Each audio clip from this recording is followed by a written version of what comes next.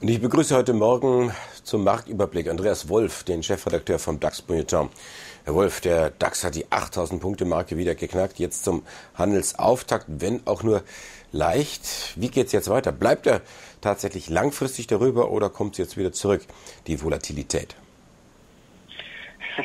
Schönen guten Morgen, äh, Herr Groß. Ja, ich glaube nicht, dass wir jetzt äh, sehr intensiv über diese Marke drüber gehen. Das deutet sich auch schon, wie Sie gesagt haben, in der Handelseröffnung an, weil wir haben gestern auch schon ein bisschen das Problem gehabt, ähm, über diesen Level 8000 Punkte, 8050 Punkte rüber zu gehen.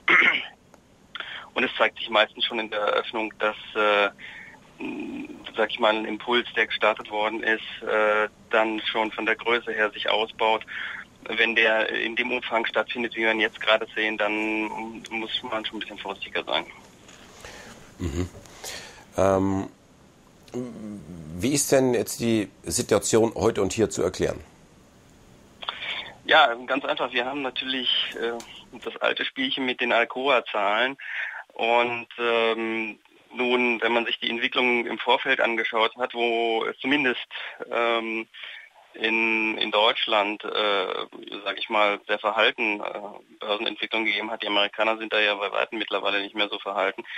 Ähm, dann war eigentlich klar, dass äh, diese Alkoholzahlen erstmal auf, einen positiven, auf eine positive Resonanz treffen, auch wenn sie jetzt nicht so äh, extrem gut waren. Und äh, die Erklärung ist dann ganz einfach, dass man in der Eröffnung natürlich ein, paar positive äh, ähm, Aspekte betrachten kann, die dann im Nachhinein natürlich wieder äh, der Sorge weichen, ob das dann auch äh, für die gesamte Bilanzsaison eben äh, repräsentativ ist, was wir da sehen. Ja, sprechen wir mal über die Bilanzsaison. Sprechen wir jetzt zunächst über Alcor. Die Zahlen von Alcor auf den ersten Blick sehen ja relativ schwach aus, tiefrot äh, im, im, im, zweiten Quartal. Äh, und jetzt sagt Klaus Kleinfeld, der Alcor-Chef, ja, da sind ja viele Sonderposten dabei. Wir müssen den Laden ja irgendwie umbauen. Operativ sieht es wesentlich besser aus. Wie schätzen Sie die Zahlen ein?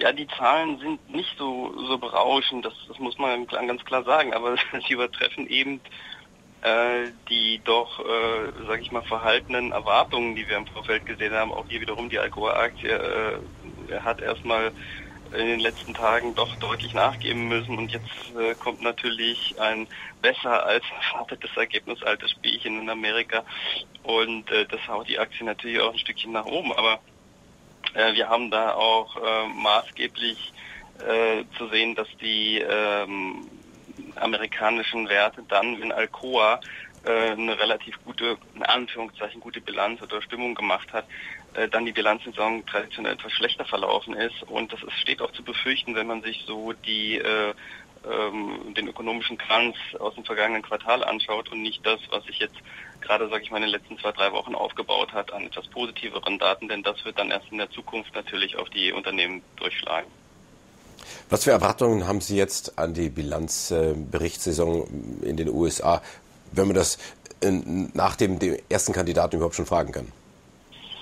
Naja gut, wir haben jetzt die Woche noch nicht so viel an Daten. Das heißt, wir haben erstmal äh, die Banken, da sieht es noch relativ positiv aus, was auch im Übrigen, um den positiven Aspekt weiterzuführen, äh, dann mittelfristig der Wirtschaft sehr helfen dürfte, denn anders als in Europa sind die amerikanischen Banken schon wieder relativ gut aufgestellt, nicht alle, aber die, die wir diese Woche sehen werden, JP Morgan zum Beispiel, Wells Fargo, äh, da äh, geht es schon, sage ich mal, seit einem knappen Jahr wieder relativ gut.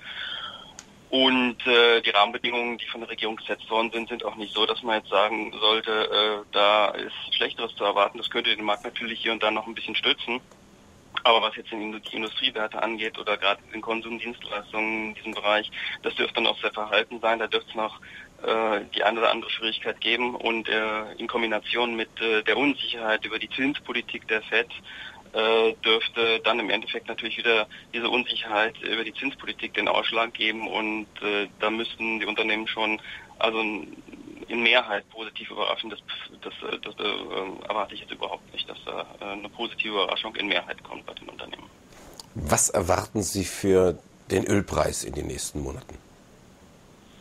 Na gut, wir haben auch hier so eine traditionelle zyklische Bewegung beim Ölpreis und die ist einfach äh, natürlich von dieser sogenannten Urlaubssaison abhängig in Amerika, die ja jetzt gestartet ist. Äh, im August sich dann noch verstärkt. August ist der traditionelle ähm, äh, Urlaubsmonat in den USA und äh, aus dem Grund wird natürlich die Nachfrage immer äh, ansteigen. Ob sie natürlich jetzt in dem Ausmaß ansteigt, dass es dafür reicht, den Ölpreis stärker äh, in Bewegung nach oben zu bringen, ist eine andere Frage. Aber dass er tendenziell erstmal nach oben tendiert, äh, ist nicht überraschend. Äh, momentan sind wir so ein bisschen aus dieser Trading Box beim Ölpreis zwischen 99 und 105 Dollar nach oben ausgebrochen, mit Vorsicht zu genießen, dieser Begriff. Und das kann durchaus dann in den Bereich um 112 Dollar gehen. Aber ich glaube zum Beispiel nicht, dass wir äh, den Bereich um 115 Dollar jetzt kurzfristig überschreiten werden. Dazu müssten wir dann doch schon klare Signale eines nachhaltigen Aufschwungs in den USA sehen und die sehe ich nicht vor Herbst und Winter. Dann schauen wir doch mal in Ihr Depot rein, wenn Sie uns lassen. Wie richten Sie Ihr Depot momentan aus?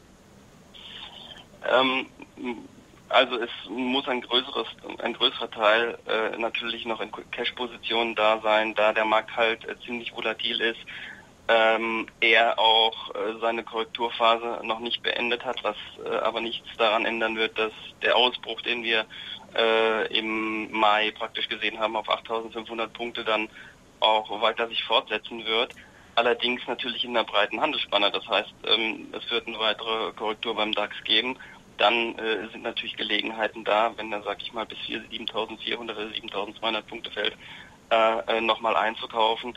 Ähm, und man sollte sich natürlich dann eben wiederum an die Werte momentan halten, die ähm, relativ ähm, gut gegen die Marktentwicklung laufen. Das sind natürlich so Werte wie eine Continental, das ist so ein Wert wie Adidas, also eher so die kleineren Werte, die zyklischen Werte haben hier und da noch ein bisschen ihr Problem.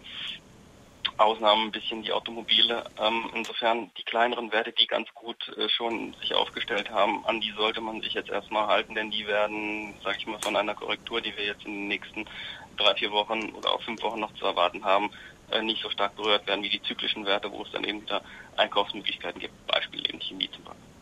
Der Chefredakteur des DAX-Monitor Andreas Wolf, Dankeschön. Sehr gerne Ihnen schönen Tag.